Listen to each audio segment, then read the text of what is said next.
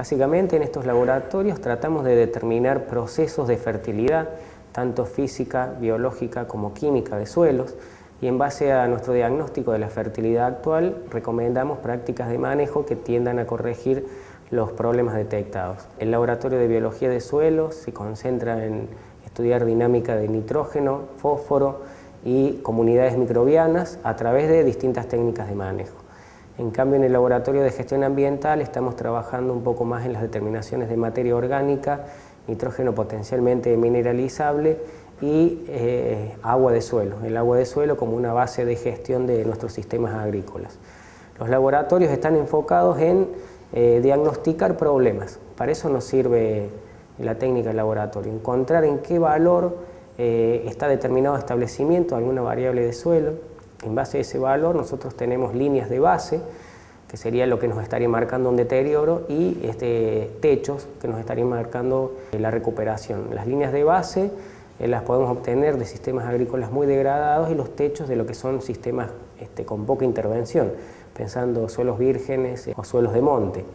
Ahí entre esas dos líneas se mueven nuestros sistemas agrícolas y buscamos este, en qué valor de deterioro se encuentran. Dos metodologías que se hacen acá en el laboratorio. Una es de materia orgánica particulada, ese es un fraccionamiento físico de la materia orgánica en la que se determina la fracción lábil y joven de la materia orgánica del suelo. Esto es muy importante de analizar debido a que es la fracción de la materia orgánica del suelo que van a tener cambios en un corto plazo, es decir, ante prácticas de manejo, ante un cambio en el suelo, es la más susceptible a tener cambios. Esta materia orgánica particulada está compuesta principalmente por restos vegetales, por restos animales, por IFA, por esporas,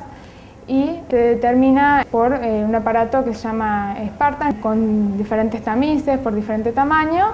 y con una muestra de suelo que es previamente dispersada. Esta materia orgánica particulada es importante porque se relaciona con diferentes propiedades físicas y con la disponibilidad de nutrientes. Tiene una importante interrelación con la estabilidad de los agregados del suelo y con la disponibilidad de nutrientes como el nitrógeno, por ejemplo es importante determinar eh, la cantidad de materia orgánica particulada que tengo en el suelo porque me puede indicar en un futuro la cantidad de carbono total que voy a tener en el suelo. Lo que se realiza en el laboratorio son determinaciones de fertilidad física y fertilidad química y biológica. Lo que está muy relacionado con la fertilidad química, que se habló un poco de NAN, de materia orgánica particulada, es la fertilidad física que determina lo que va a ser la infiltración en el suelo, lo que va a ser los procesos eh, de erosión, eh, la estructuración del suelo. Y una de las técnicas que nosotros utilizamos es la estabilidad de agregados. Esa estabilidad de agregado determina cuál va a ser la estabilidad del sistema, del sistema suelo, ante cambios en el manejo. Si un sistema es más estable, va a tolerar más eh, efecto de las prácticas de manejo en el suelo. Esa técnica lo que se hace es someter los agregados del suelo, ya secos y procesados, a el efecto del agua, un humedecimiento rápido un humedecimiento lento de esos agregados, y eso determina por un tamizado posterior el efecto sobre eh, la agregación del suelo.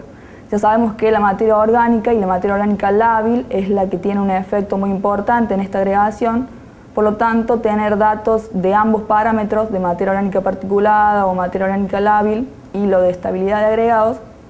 sería muy importante. Otra de las técnicas que realizamos nosotros es el nitrógeno anaeróbico, que también eh, tiene una fuerte relación con la fracción lábil de la materia orgánica particulada. El nitrógeno anaeróbico lo que nos está midiendo es el nitrógeno potencialmente mineralizable que va a tener el suelo que nos va a dar nitrógeno en un periodo de, eh, susceptible a ser mineralizado. Es decir, que a diferencia de los contenidos de nitrato, que es una foto actual de nitrógeno que tenemos en un tiempo determinado, que es susceptible a ser lisiviado por una, por una precipitación, el nitrógeno anaeróbico nos dice cuánto nitrógeno nosotros tenemos disponible en un periodo de tiempo determinado. Con los ensayos que tenemos acá en la experimental,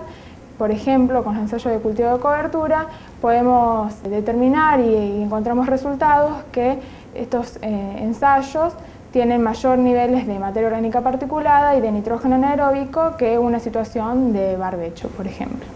Ambas metodologías, tanto particulada como nitrógeno anaeróbico, son buenos indicadores